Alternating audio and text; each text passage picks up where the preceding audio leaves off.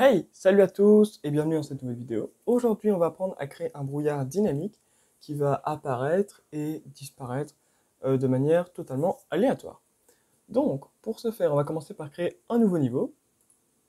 On va supprimer ça, ça et ça. On va créer un landscape pour avoir un sol un peu plus grand. On peut le mettre en 31, le créer, revenir sur le select, prendre le light source pour enlever les lignes, on le met en movable. Et voilà, donc là on a déjà une base. On va sauver le terrain et on va le créer level underscore demo fog, comme ça, ça c'est fait. Et ce qu'on va faire, c'est que on va créer un blueprint class. On va aller créer un actor et on va le nommer bp underscore fog et on va l'ouvrir. Donc, on va supprimer ces deux-là et garder seulement l'eventic. On va venir prendre un branch donc if, et on va prendre un random ball, random ball, et juste avant, on va laisser un délai qui va définir le temps avant que le brouillard change. Donc, en conditions réelles, je dirais environ peut-être toutes les 10 euh, minutes, quelque chose comme ça. Nous, on va laisser 30 euh, secondes, peut-être 45 secondes, on créera une fonction après pour accélérer le temps pour le rendu final, ou j'accélérerai le temps au montage, on verra bien euh, comment je vais procéder. Euh, donc voilà, bam bam bam. On va créer un flip-flop. Donc le flip-flop, c'est une fois qu'on va appeler la fonction, euh, il va se passer A, et une fois qu'on va réappeler la fonction, il va se passer B. voilà, bah, c'est le principe en fait dans l'interrupteur.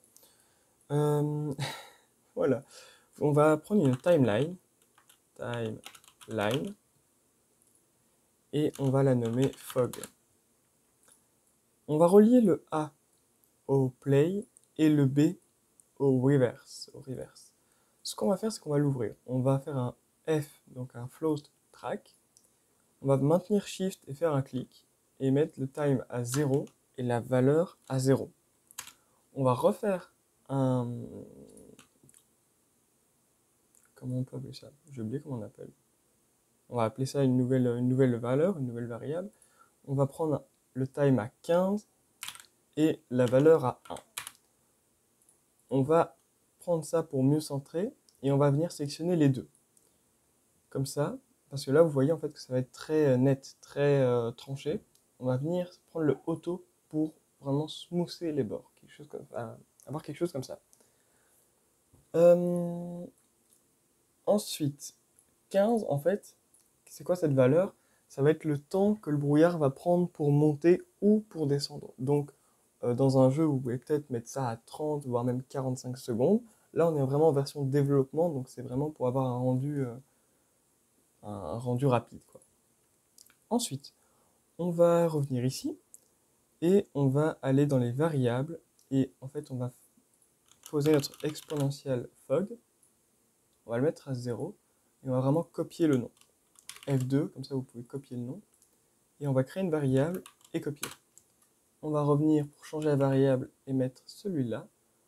On va prendre comme variable, on va prendre un component, si je dis pas de bêtises. Comme ça, quand vous allez poser ça ici, vous... C'est le mauvais.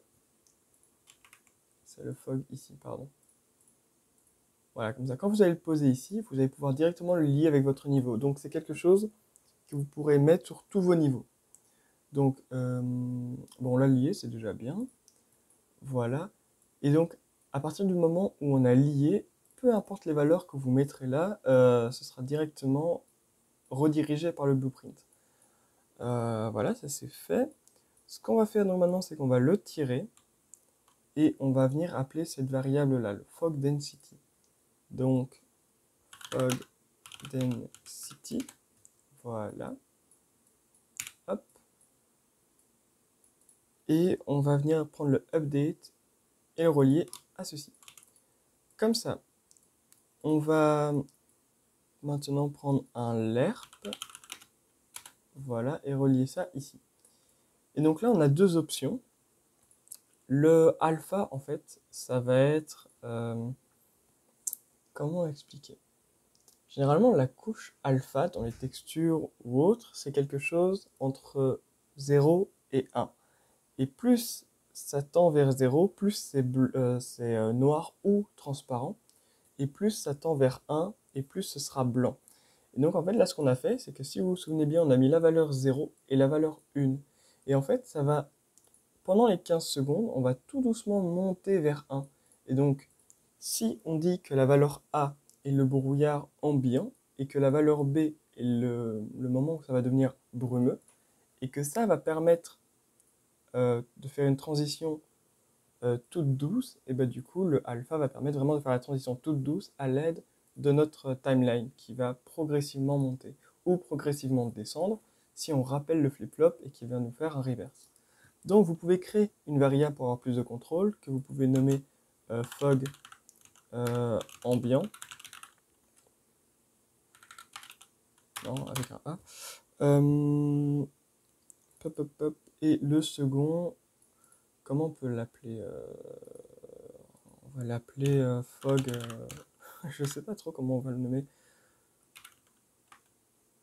On va le nommer Fog Fort. Je sais pas comment on pourrait le nommer d'autre, mais j'ai pas le terme en tête pour l'instant. On va compiler, comme ça on aura accès aux, valeurs. Et là, on va retourner dans notre niveau pour avoir un rendu.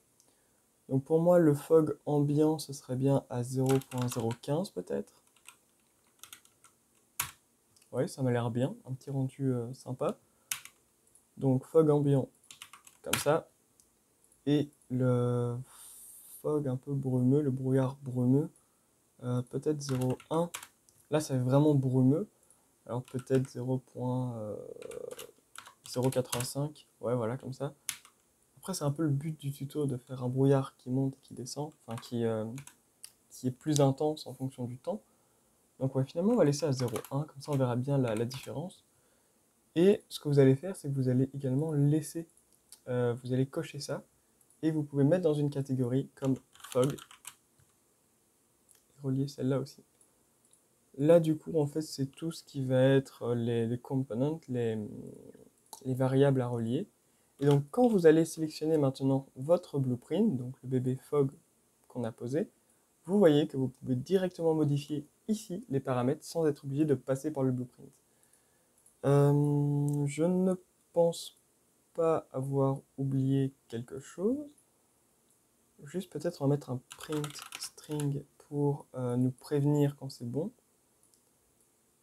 Donc on va mettre... Euh, non, on va pas le mettre là plutôt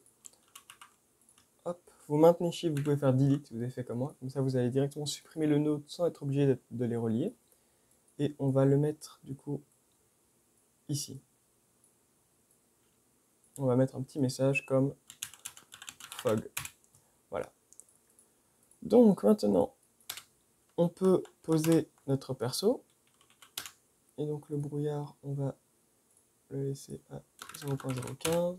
Hop, et donc voilà, donc là on va attendre un petit peu.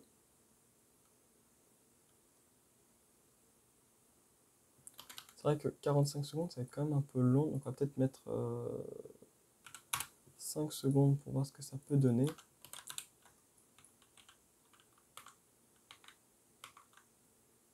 Voilà.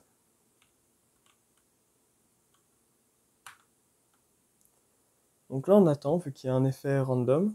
Et normalement, on devrait recevoir un petit message euh, quand le brouillard va se décider à monter. Voilà, donc là, on a le petit fog qui vient d'apparaître.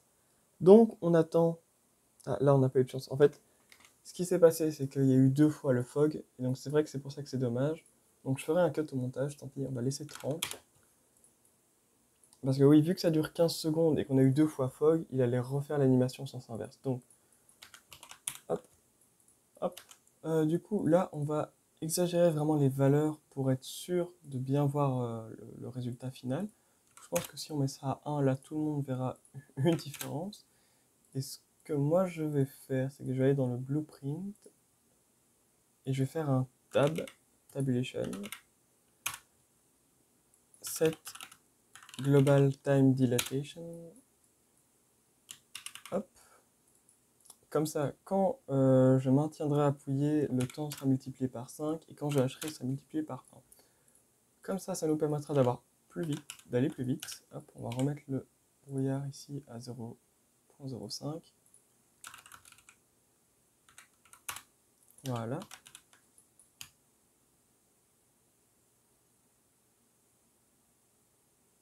Donc là, on attend. Là, on vient d'avoir notre premier fog. Vous voyez que le brouillard monte. Et si on attend encore un peu,